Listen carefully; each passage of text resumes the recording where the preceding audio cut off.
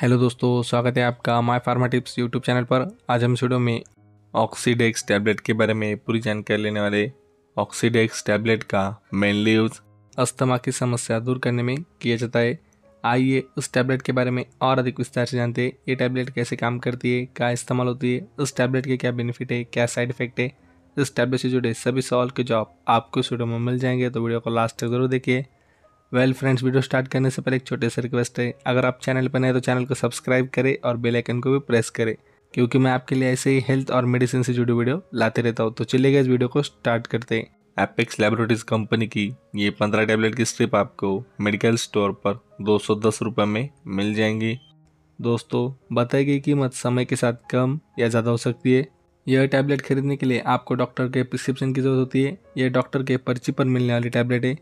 बात करते इस टैबलेट में मौजूद कंटेंट के बारे में ऑक्सीडेक्स टैबलेट में acebrophylline 100 M G acetyl cysteine B P छः सौ एम जी यह कंटेन समाविष्ट है इसमें मौजूद एसिप्रोफाइलिन यह एक म्यूकोलाइटिक और ब्रोंकोडाइलेटर है।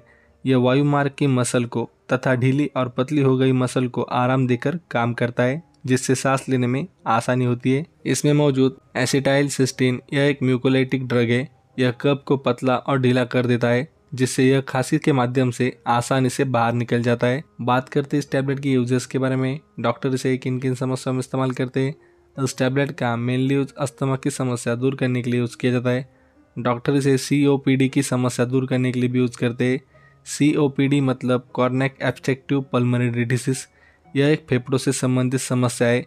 जिसमें रोगी को सांस लेने में परेशानी होती है। इस समस्या को दूर करने के लिए डॉक्टर इस टैबलेट का इस्तेमाल करते इसे दमा खांसी की समस्या दूर करने के लिए भी डॉक्टर यूज़ करते उस टैबलेट के अन्य जानने के लिए आप अपने डॉक्टर या फार्मासिस्ट से संपर्क कर सकते आपके डॉक्टर उनके अनुभव से इस टैबलेट का इस्तेमाल अन्य समस्याओं को दूर करने के लिए यूज़ कर सकते बात करते इस टैबलेट के डोसेस के बारे में। आप अपनी समस्या अपने डॉक्टर को बताकर इस टैबलेट का डोज निश्चित कर ले। याद रखें दोस्तों, इस टैबलेट का डोज आपके समस्या पर निर्धारित रहता है। यदि आपकी समस्या ज़्यादा हो तो इस टैबलेट का डोज भी ज़्यादा होगा। यदि आपकी समस्या कम हो तो इस टैबलेट का डोज भी कम होगा। वह व्यक्ति, यानी अडल्ट ये टैबलेट दिन में एक बार अपने डॉक्टर के सलाह के अनुसार सात से चौदह दिन तक ले सकते साइड इफ़ेक्ट इस टैबलेट के इस्तेमाल से होना दुष्परिणाम। अगर आपको इस टैबलेट में मौजूद कंटेंस एलर्जी है तो आपको बताए कि कुछ साइड इफ़ेक्ट हो सकते यदि आपको बताए कि कुछ साइड इफ़ेक्ट महसूस हो तो आप तुरंत अपने डॉक्टर से संपर्क करें। उस टैबलेट के इस्तेमाल से आपको उल्टी, मितली, पेट दर्द, खुजली, सांस लेने में परेशानी, ये कुछ साइड इफ़ेक्ट हो सकते प्रिकॉशन उस टैबलेट को यूज़ करते समय सावधानियाँ। अगर आपको इस टैबलेट के इस्तेमाल से कोई साइड इफ़ेक्ट होता है या फिर आपको इस टैबलेट में मौजूद कंटेंस एलर्जी है तो आप इस टैबलेट का यूज़ न करें। अगर आप पहले से कोई अन्य मेडिसिन टैबलेट सिरप ले रहे हो तो उसकी सूचना अपने डॉक्टर को अवश्य दे। इस वजह से इस टैबलेट का ड्रग इंट्रैक्शन या ओवरडोज होने की संभावना कम होती है। अगर आपको लीवर या फिर किडनी स्टोन की अन्य समस्या है तो उसकी सूचना भी अपने डॉक्टर को अवश्य दे।